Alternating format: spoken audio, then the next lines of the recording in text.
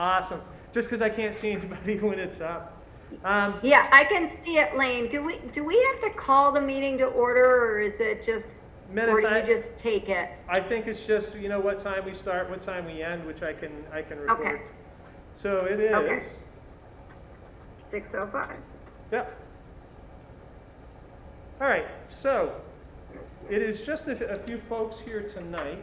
Um, and so this presentation we're going to do uh, for the purpose of the fact that it will be up on Orca Media for others to watch prior to uh, the vote on March 1st.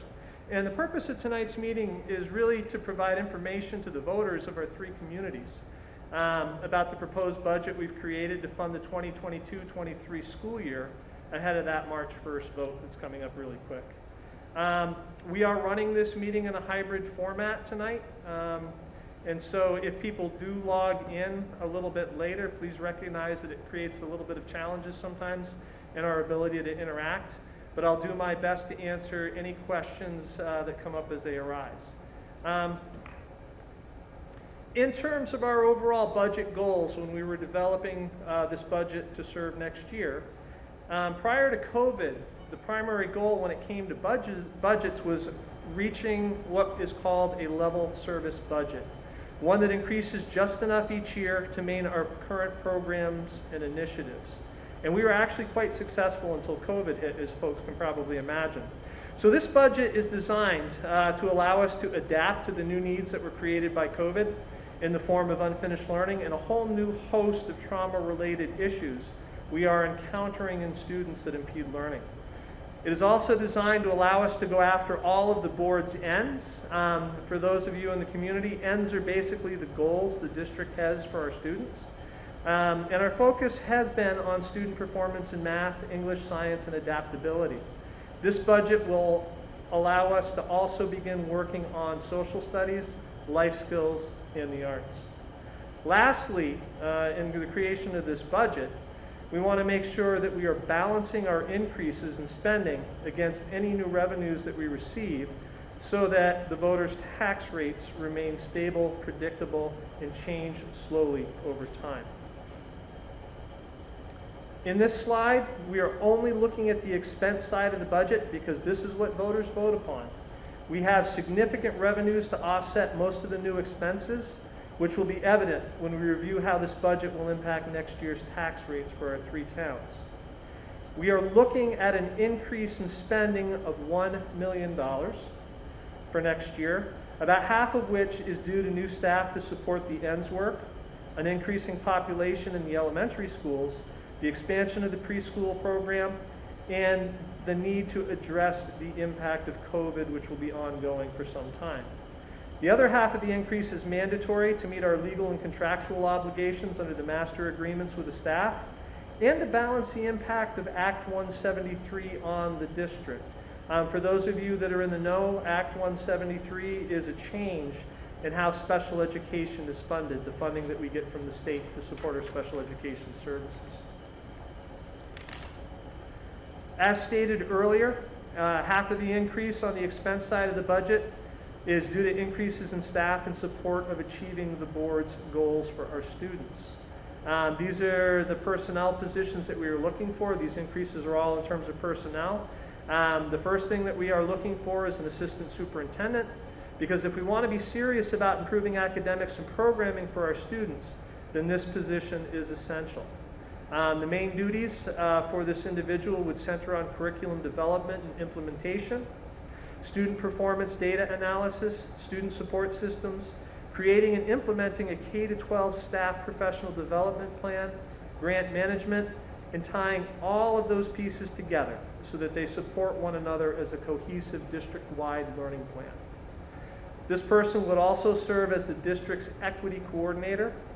And lastly, in fulfillment of the succession planning required under executive limitation, one of the board's policies, uh, this person would also be in a position to immediately take over all of my functions in case I am incapacitated. Uh, in terms of the two preschool positions, uh, it'll probably help if I provide the community with some background. The district re recognized the important role that early education plays in the future academic success of its students. and recently created a full-time free preschool program for all four-year-olds, try saying that three times fast, in the district while maintaining its part-time program for three-year-olds. This is a large program with significant regulatory requirements that needs a part-time coordinator to oversee things to ensure that we remain in compliance. In addition, the coordinator is charged with expanding our part-time three-year-old program over the next few years. Uh, the teacher um, already exists, um, but right now they're being funded by a, uh, a grant, and we'd like to move them into the regular budget, that preschool teacher, um, because this is permanent changes to our programming, this preschool program. We are looking for a technical support specialist. Um, this is a person to help our IT problem, to support the information and technology end, and to support the creation of a new website and the ability to maintain it in-house. Right now, our website was built on an old proprietary system, and we cannot control it ourselves. We have an outside agent that does that. Um, and it would be nice to bring that website in-house um, so that we can keep it up to speed and up to date at a moment's notice as needed. Um, we are also looking to increase time for the two librarians, uh, the librarian at our two small librarians at our two small schools, Braintree and Brookfield. Um, and this is to provide the additional time that those librarians need to better support the digital literacy curriculum that we're developing and the teachers' academic programming. Uh, those librarians will often connect with the teachers about what they're teaching and the projects that they have with the students and help them enhance their lesson plans. Um, and this is also to provide additional preparation and team time to the elementary teachers. There is a lot of work going on in math and science and ELA, and those teachers need time together to be able to do that work. Um, increasing the time for the librarians allows this because when the students are with the librarians, the teachers have time to meet. We are also looking for a classroom teacher for Randolph Elementary School, and this is to increase, this is to accommodate increased enrollment. Uh, the school itself is at a six-year high in terms of enrollment, and in fact, the district is also at a six-year high at the elementary level in terms of new enrollments. And most of those enrollments are happening in grades K to 4, so they will be with us for some while. The COVID pandemic um, really kind of shed a light on the fact that we do need some additional time um, for a school nurse. Right now, our school nurse is shared between the tech center and RUHS. It would be nice to have some dedicated time just for the technical center. And lastly, in terms of this uh, discretionary spending, we are looking for a new math teacher to be able to hire a new math teacher at RUHS at the high school.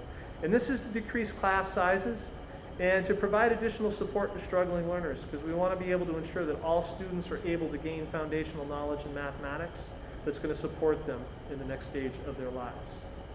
So, the first part of our discussion is about local taxes and what this budget is going to do. Um, the second part of the discussion will focus in a little bit more on the surplus funds uh, that we generated last year and our request to the voters in terms of allocating those funds to future purposes. Um, local taxes, it's important to remember, are controlled by two factors one that's within the district's control and one that is not. The Orange Southwest School District's budget is within our control because we exert that control by balancing what we spend relative to the revenues that we generate. If your tax rates were only based on the school side of the equation, your rates next year with this budget would go down by about 7 cents per $100 of assessed value, or about $200 for the year for an average price home in this area. Average price being $281,000. On the school side of things, yes, we are proposing a $1 million increase in spending, but that increase is more than balanced by growth in our generation of revenue. What is out of our control is what's called the common level of appraisal, and it's a factor that the state uses as part of its tax formula.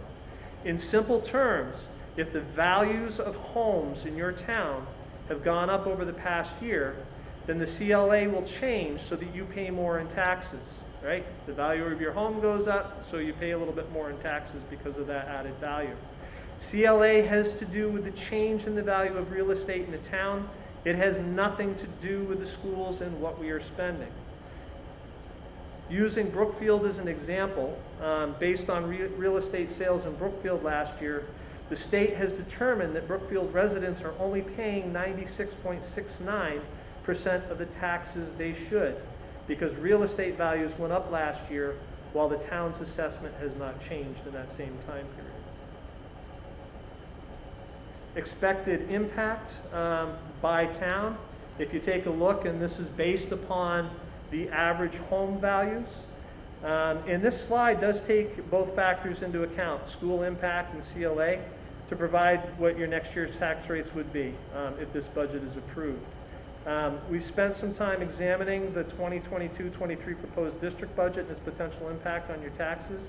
And that's the first thing that will require a vote on the school ballot. And this is the impact, right? So what you're looking at is Braintree. Um, the value of your homes actually decreased a little bit. I think you were just assessed about a year ago. So relative to that assessment and relative to the cost of what houses were going for last year, um, the value of your homes went down a little bit. So your taxes are going to go down as well. So what you should see on an average uh, priced home of $281,000 is you should see your total taxes on the school um, taxes go down by $216. For Brookfield, you should see your taxes go down by $9. And Randolph, for the entire year, um, you actually had the largest increase in the value of your homes from our three towns. Um, your taxes will go up by $82 for the year. Now, like I said, this is about the taxes, but to make sure that folks are well informed uh, when they go out to vote, we also need to talk about the other items on the ballot. And these have to do with the use of surplus funds. So it's important to understand what surplus funds are and what, what reserve funds are. Surplus is what's left over at the end of a fiscal year. Reserve funds are surplus monies that have been set aside into an account for a specific use in the future. You, as the voters in March, can approve the movement of surplus money into reserve accounts. In terms of our surplus during the last school year, all the districts around the state uh, used the first round of federal grant money that came in to help us um, cover the additional costs we experienced due to COVID. Um, and we used that grant money to offset those costs, but there was enough left over that we were able to also offset a lot of our normal expenses. Because of this, we have just over $2 million to allocate in surplus funds. And in terms of my recommendations, um, $1 million of that $2 million will go to reducing the burden on taxpayers. It will be split into three equal amounts to be used over the next three budget years to reduce your taxes. I'm asking the voters to allocate the remainder, that last 1 million, into our various reserve accounts as there are some needs on the horizon that we should plan for, which will be explained in a slide or two. Last year, we created a plan to use the previous year's surplus funds to reduce the tax burden on our taxpayers for the next three years. This chart shows how that was broken down. We used 826,000 of it to support this current year's budget and set aside the remainder to support the following two years in equal installments of $413,000 each. I am recommending that the second 1 million of our $2 million surplus be split into three equal amounts and used to support the next three district budgets. So you see that there, right? 2022, the first third of that million would be used to help offset people's taxes. The second year, it would be used to offset people's tax, taxes. And the third, I apologize, I'm letting a new person into the meeting. So I am recommending just that, that a million of the current uh, surplus be split into three equal amounts and used to support the next three district budgets. It makes sense to lessen the tax burden as much as possible in these uncertain times, since we don't know when the impact of COVID will decrease or when federal monies will dry up. It makes sense to carry this support as far into the future as possible, as opposed to doing it all in a single year. Lastly, spreading it out like this means we should not have a cliff year, a sudden end to this subsidized support that we've created, which could have a large impact on the budget all at once. Hopefully, the education fund will increase as the economy improves to balance the need for these subsidizations in the future. In terms of how I would like um, to allocate the remainder of the surplus funds, um, this is what this chart explains. In this slide, you can see the, the reserve funds that exist and how much they currently contain. The last column represents my request to the voters on how to distribute the remaining surplus monies across these accounts. And this would be done by voting yes on ballot articles 10 through 16. If we start off with the first line there, vehicle and bus, that's the transportation fund. The transportation fund is currently pretty large. Uh, we've got a lot of money in there. And we typically use less than 100,000 per year of it. Uh, we use it primarily to replace our buses to make sure that none of our buses are more than seven years old. And we also use it to replace our fleet vehicles um, when they've kind of aged out of their useful life. So at this point in time, I'm not recommending adding any more to that reserve fund. Second line down, building and maintenance, which is called our facilities reserve fund, we actually have a huge unknown coming our way in terms of the required PCB testing that was mandated by the legislature last year. Any facility that was built or renovated prior to 1979 is likely affected, and we have two buildings that fall into that category. This amount is to ensure we have what we need for remediation if necessary. In terms of the legal fund, as folks that haven't been watching the news lately, there is an exodus going on from the teaching profession. After three years of COVID and the potential exposure faced every day by staff working in close quarters within schools, this means that the quality of the candidate pool will likely decrease, which will result in more human resources issues that must be managed, often with the help of legal counsel. In terms of the Special Education Reserve Fund, um, the change in the special education law, which affects funding, goes into effect next year. Based on their current formula that the state gave us, this district will lose $200,000 it would normally receive. The current legislature may change the formula further, meaning that we may suffer an even more negative financial impact after our budget is finalized and the March 1st vote goes through. We need to have some reserve funds on hand to cover this unknown. Additionally, once enacted, the district receives a set amount to provide these services each year. If a student should move into our town with severe needs after the start of the year, we may not have what we need to cover the costs of their services. So having funding in this reserve account to cover this unknown is a wise choice. In terms of the operations fund, this account houses the monies needed to reduce the tax burden for the next three years 333,000 has already been rolled into reducing next year's budget, leaving 666,000 that needs to be allocated to subsidize the 2023 and 2024 budgets. As part of the operations fund allocation, I'm also requesting that the voters approve an additional $250,000 to support three important initiatives. That's where that 916 comes from. It's the 666 um, to subsidize taxes and another 215, excuse me, 250 to support these initiatives. The first initiative is that um, a few years back, probably about five years ago now, the state uh, had moved to have all districts use the same financial software um, to make the data exchange between their main computer systems a little bit easier. The software that they chose has been a bit of a failure. Um, the districts that are using it, it has not been all that useful. And so the state is at the point where it's got to make some decisions uh, about whether it's going to continue moving forward with that software or if it's going to turn around, which I believe is the more likely case, and say, hey, um, districts, do what you want um, as long as it communicates well, your software communicates well with the state systems. The problem with this is, is that when the state was going to mandate we all use the same software, they were going to provide us with that software for free. If they change their mind this legislative session, we may have to provide this software on our own, and that's a part of what that 250,000 would go towards. The second initiative um, that that 250,000 would go towards is for the creation of a new district website um, that is on an in-house platform that we can manage ourselves. Like I said, we have a, a website. It's a, it's a darn good website. I'm very appreciative of the people that have managed it um, over these years, but it is managed by an outside agency. Um, and it'll be a lot easier if we can just do it ourselves. Hopefully, it'll be a system that's easy enough that if teachers want to maintain websites related to their classes um, that have links to it, they can do just that.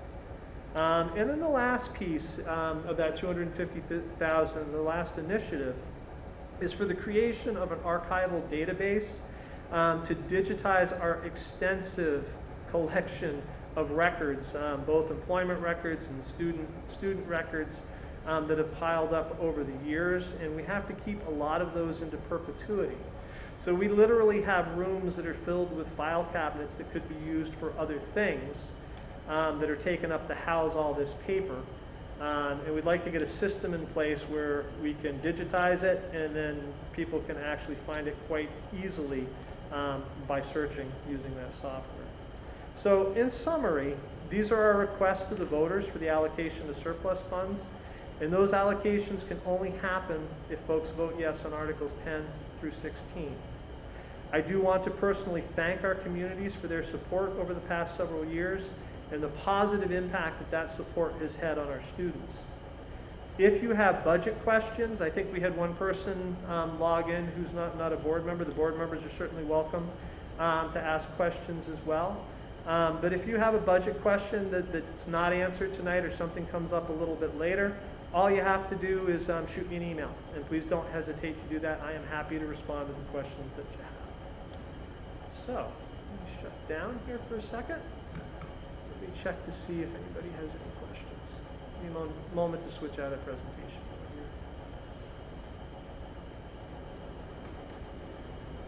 So I, I do have a question if you can hear me.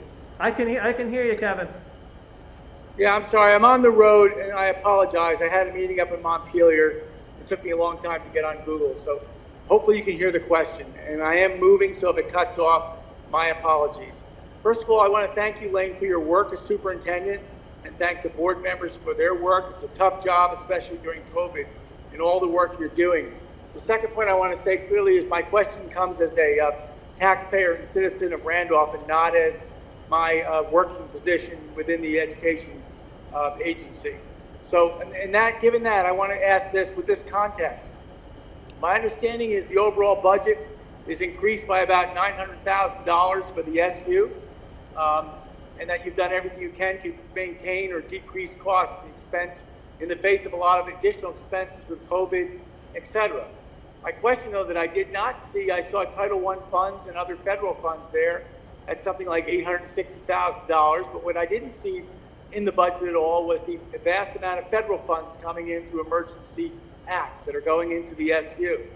So my question is, I understand that those federal emergency funds, which are in the millions, Yeah. cannot be used to offset taxes. However, in some communities, some tax increases are going to come forth based on this proposed budget. Given that the state of Maine, for example, has their to propose during COVID and during a loss of economic times like this challenging time is to prevent tax increases in all of its states because of the federal influx of funds. I'm wondering why maybe I'm missing something here. Some of those federal funds can't be directed towards things that are allowable and are line items in the budget, such as instruction, behavioral resources, et cetera, et cetera, that would allow you to present a budget that's cost neutral in this difficult economic time. Thank you for taking my question. Yeah, no, our, our budget actually on the, uh, on the school side of things not only is cost neutral, but we actually cut um, the cost by seven cents per hundred dollars of assessed value. What has to go into the mix, as you probably well know, is uh, the CLA um, has an impact as well, and that's kind of out of our control. In terms of the actual federal funding that has come in, um, a lot of our surplus that we are pumping or hoping that the voters are going to vote so that we can pump a million of it back into subsidizing taxes came from the ESSER one funds.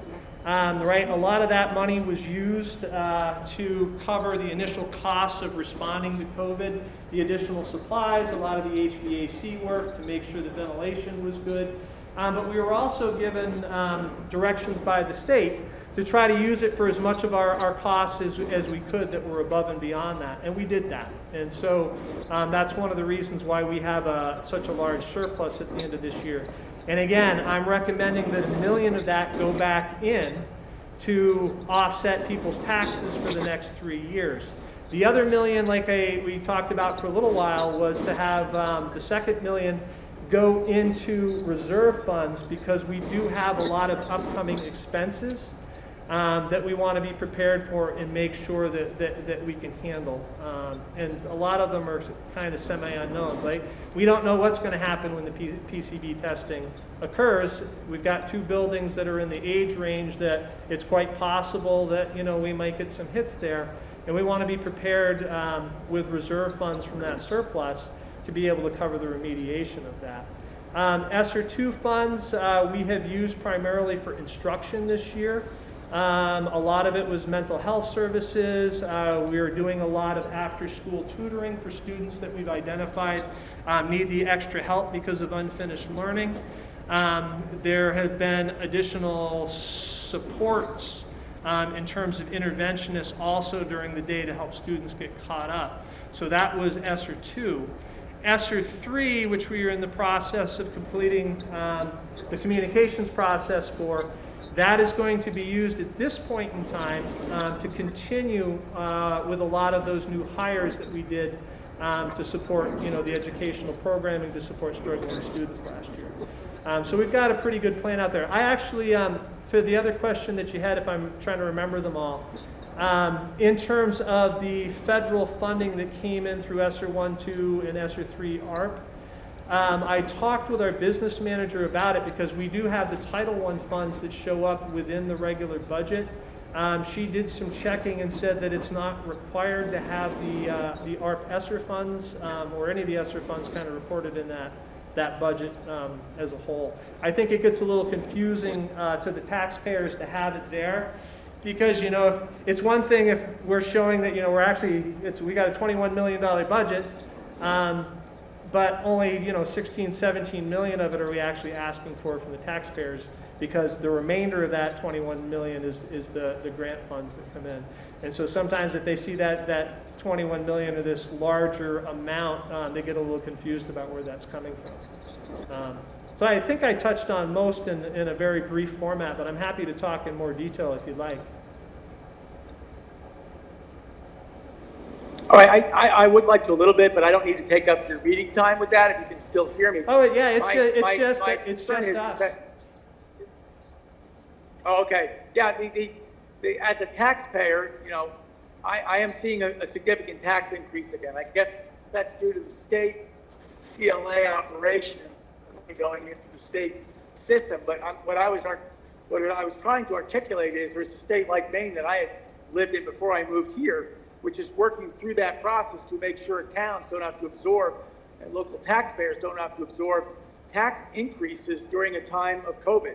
Yet, yet I'm just picking on me irrationally, but individually, there are plenty of taxpayers in the district who are going to pay more money right now in a very tough economic time because of the way the, the uh, state funding operation works.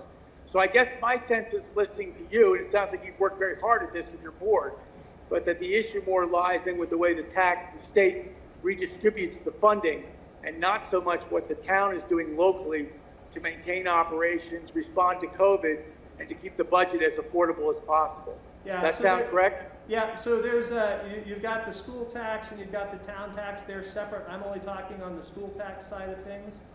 And like I said, the parts that are within our control, there were actually, we, everything was cut across the three towns next year because our revenues were so great.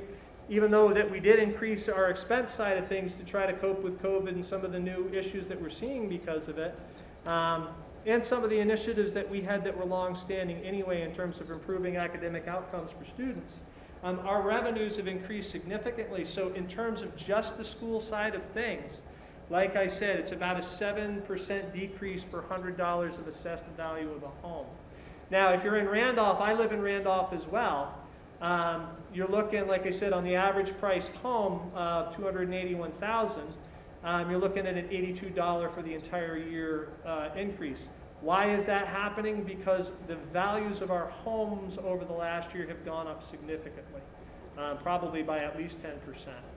Um, and so, you know, because the values of our homes are worth more, we end up paying more in taxes um, uh, to cover that, that change in the real estate market. And that's the CLA piece. It's very, it's complicated. I'm, I'm talking about it in incredibly simplistic terms. Um, but that's where the primary increase. What was your, what was your, you know, I appreciate this very much, and I'm sorry I'm the only one on, but what was your turnout on the uh, meeting last week, your informational meeting, Mike? Just out of curiosity? Not, not much. I think I had about five people. Three of them were in faculty folks. Um, part of the reason I think for that is because we actually, we do a pretty good job of communicating. Um, pretty much everything that I've said tonight came Yeah. out, um, both in the annual report, um, but it's also, I sent out a series of communications on, on the budget.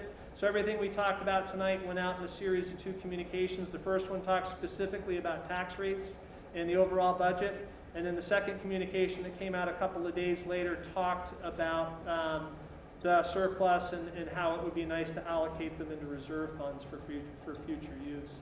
So I think what I've seen happen over the course of my time here is that the more that we do the communications online and send out the community messages, the fewer and fewer people I end up seeing at the, at the, at the meetings and the open forums.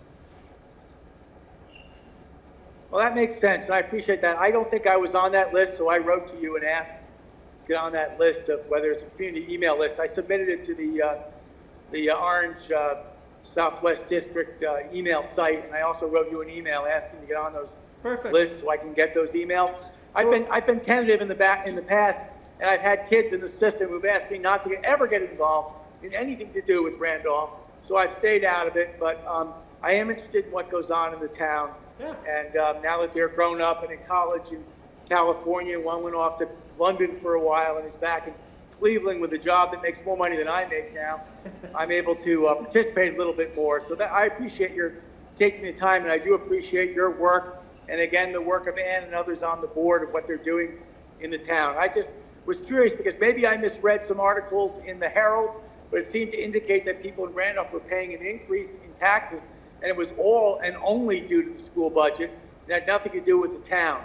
So I may have misread that, um, but I understand what you're saying about the eighty-two dollars. That, that definitely confirms what I saw online this afternoon.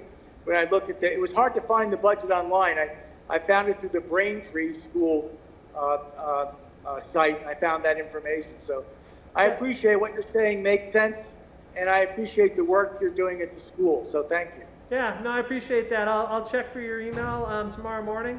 I'll shoot you the communications. It may take, uh, I'll, I'll let Tina know in the, the information tech department. Um, they'll get you Yeah. connected so that you're, you're getting the broadband emails and communications when they come out. It may take them a day to, to get it, get it set up, but you should be set up very shortly. But yeah, it's, Well, it- appre- it is a good point. Um, it's just people need to remember there are, there, your taxes, your overall taxes come from two additional sources. You've got the town tax. Their process is completely separate from the school. We're com- two completely separate en- entities. The larger Yep. tax burden you guys pay obviously is, is from the school side. Um, but our, our process is completely separate from theirs. Oh, Yep, whatever. Okay, I, I, I understand that. What I'm understanding and taking away from this is that uh, whatever increases I'm facing, which have been somewhat significant over the last several years as a taxpayer who lives in Randolph Center, are more attributable to the town than they are to the school system, and some are due to the whole state school system overall, which I understand that as well. But, well, So, but this particular, go ahead. We've, we've, um, we've actually asked the town for, right up until, I'd have to go back and look, two, three years ago. We actually asked the town for some pretty significant increases. Um, and Yeah. one of the reasons was because, um, the mentality around, um, budgets changed a little bit. Um, when I came in, I think it's five years ago now, four years ago, somewhere in there, um, the previous superintendent, who was an incredibly brilliant man, um, I mean, he, Yep. he was here and his purpose, um, in my understanding, the board brought him in for was to keep budgets incredibly low, and he did a very good job of that. Um, but we talked about at the time um, that if you keep the budgets too low, it's kind of like compound interest in reverse. So you Right. actually, things are increasing faster than your budgets are just in terms of, you know, the additional monies that we pay to pe- to the teachers under their contracts, um, cost of living increases, um, inflation, things like that.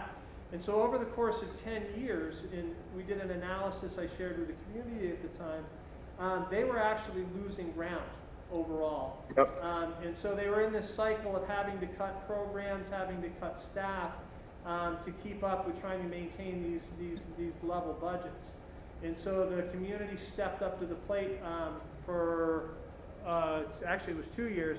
The first year, they gave us an 11% increase to, to counteract all those years of, of very tight budgets. The second Right. year, it was going to be level service, but we got hit with um, the healthcare negotiations with the state. Um, when the he- healthcare, state took over the healthcare negotiations, took it out of the hands of the districts. Some districts benefit, benefited from that, some districts got hurt, we got hurt bad. Um, so, you know, we were looking at a half million to three, three quarters of a million in im- impact, um, that we were gonna have to supply from the taxpayers with that change at that point in time.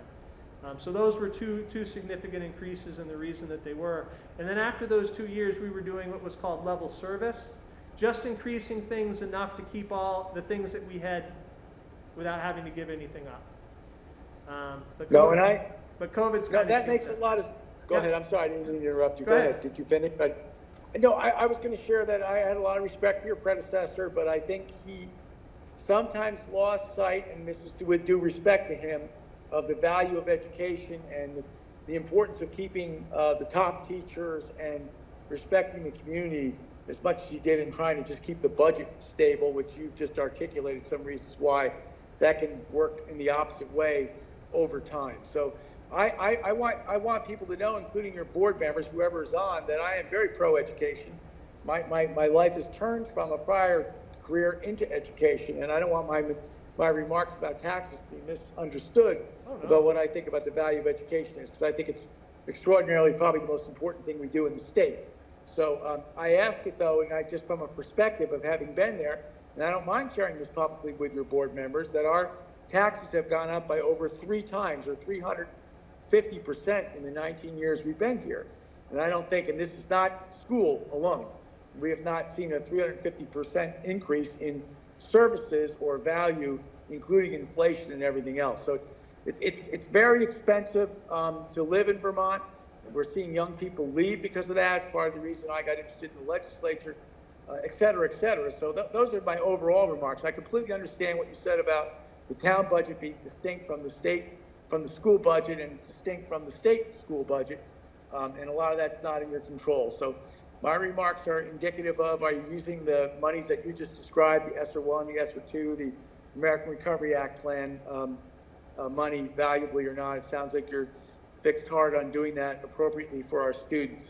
Um, and I, again, I thank you for your services and the board's services as well. I just wanted to be clear about how much we were facing. It sounds like it's not significant and uh, that you're working hard. You're also putting aside some money for, uh, as I understand what you just described and I read, to uh, put away a million dollars over three years to try to keep taxes under control as expenses inevitably amount. And I also want to appreciate and thank you before I get off because I know it's been a bear. I deliberately do not work in this particular district because I live here, so I work in several other, work with several other districts across the state. But I think that you guys have done a great job in a very, very difficult uh, time with the disease, um, which no one ever anticipated would go into its full second, through second year, entering a third almost as we sit here. Um, so I commend you for that. So thank you all for your time. I I appreciate it. I think I understand that. And I'll look forward to reading your correspondence. And I know I can send you an email if I have any further questions before the town meeting, correct? Oh, yeah. No, and I appreciate that. I appreciate you being here tonight um, because the, uh, just the communication is awesome. Um, it, my first couple of years that I was here, you know, we'd have our open forums, we'd have 30 people in the audience. You know, and the topics were always tough ones, but I actually find that kind of fun because it gets you thinking about things that, that you wouldn't normally think about. And so I'm hoping that once things subside a bit, um, and people are a little bit more free and moving around a little bit more, that we're able to return, um, to that, that kind of closeness and those kind of discussions. So I enjoyed this tonight with you. Well, I appreciate you, and I want you to know that I checked with my management, because I said, I, I, I want to go to the meeting, but if you tell me I can't, and they said, oh, absolutely, as long as you say you're not working for the agency, your comments don't represent agency policy. One of the directors told me, I'm gonna be attending my own town meeting, and I'm gonna be asking them what they're doing with the millions of dollars that we're giving them. So we were kind of laughing on the phone together, uh, but I don't know what you're doing, because I'm not reviewing, I'm not one of the people reviewing your ARP-S or your ESSER one or two. And I, and I deliberately don't talk to those people, because that would be not right. It would be interference in a way that's not appropriate. So I try to just approach this call as someone who loves education and wants to be supportive in my town, but wants to learn a little bit more about what's happening. So I appreciate your time on the call. I hope I made it slightly more interesting than just meeting with your astute board members who Yeah. are fine And- people. And in terms of the, um, the ESSER funding and what it's been spent on and, and not, um, Yep. one of the requirements for ESSER three is a spending plan. So my hope is, is that by the end of, uh, next week, after folks are back from vacation, um, we're in the process of creating a, a, a section of the website that is specifically devoted to that. And so everything will be laid out um, in those plans to show, you know, what we spent it on, how much we spent, and what the plans are for the, the, the ARP, ARP funds um, for the Yep. coming two years.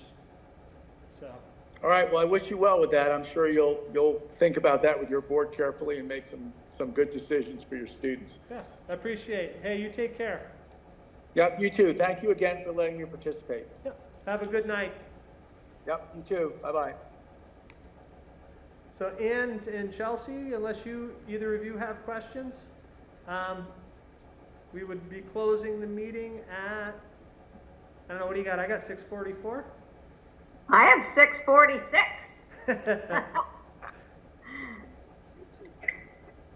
okay. okay. Well, well done, Layne.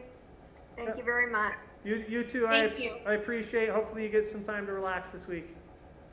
All right. You too. Take care. Take care.